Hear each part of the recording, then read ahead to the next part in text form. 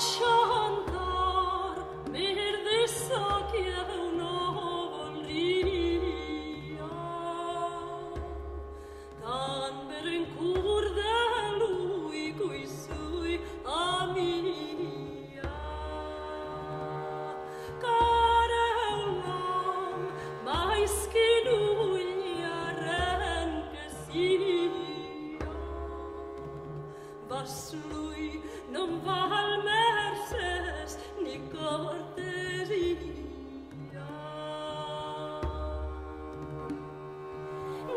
noveltà